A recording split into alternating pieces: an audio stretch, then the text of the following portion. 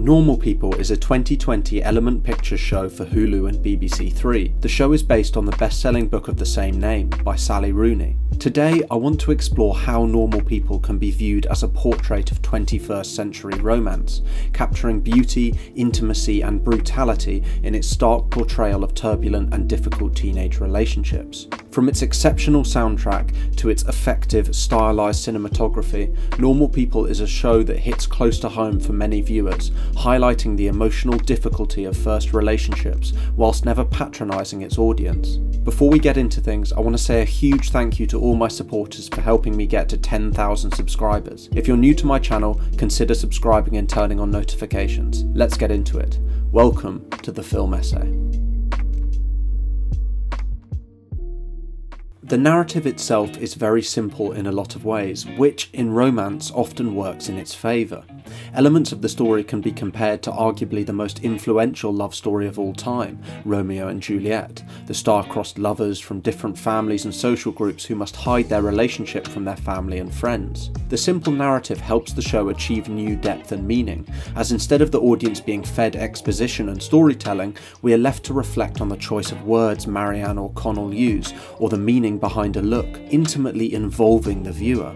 The show effectively portrays issues with class and wealth in a way that feels far truer to life than other comparable TV shows and films. Often in romance dramas or comedies involving teenagers, the wealthy are portrayed as the popular kids, such as in Mean Girls and Sex Education. What this show does well is highlight issues with class and wealth in a much more true way, showing how wealthy Marianne has a turbulent home life and is relentlessly mocked and outcast at school.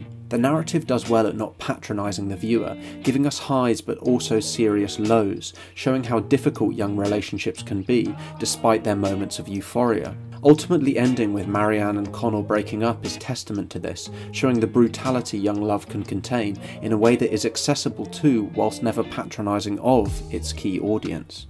The soundtrack is a unique blend of nostalgia-inducing tracks from the past 20 years and Irish artists to capture the sense of place and atmosphere present in the book. Music producers Maggie Phillips and Juliet Martin said in an interview with Bazaar, we didn't want things to feel like a bunch of music videos, we wanted it to feel very authentic and grounded. Part of this authenticity was through the use of artists from Ireland to stay true to the story. The initial playlist included Villagers, Soak, Saint Sister, Lisa Hannigan and more. This was drastically opposed to the use of Frank Ocean, Carly Rae Jepsen and Selena Gomez.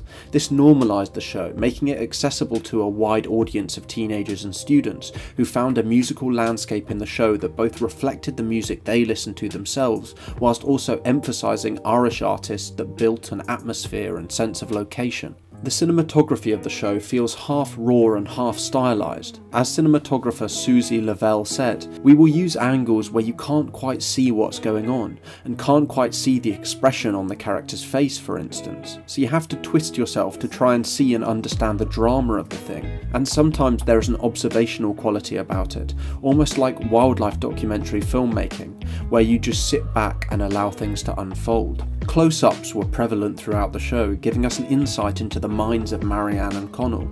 This was effectively contrasted with the use of montage when the two are apart, drastically opposing their situation or mental state to reinforce their distance and separation.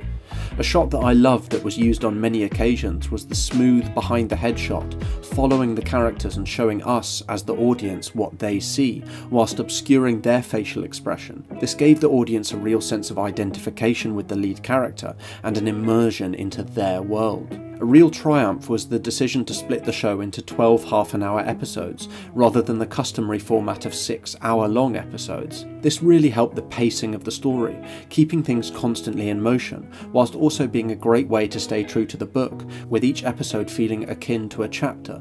Another thing I found fascinating about the structure was the complete absence of subplots. After we are introduced to our two main characters, the story remains entirely focused on Marianne and Connell, giving us nowhere else to look, and as a result, making us far more involved in their love story. The sex scenes are very deliberately long and raw. At times, as Judith Wood says in the Daily Telegraph, it can leave the viewer feeling like an intruder. But I really see this as a benefit. We feel like we're intruding because the relationship and intimacy feels so real that the viewer is left feeling like they are observing a real relationship. This all culminates in a beautiful, bleak, and heart wrenching narrative that so many people can identify with and see themselves in. It lays bare the beauty and brutality of first loves, highlighting the euphoric highs and heartbreaking lows.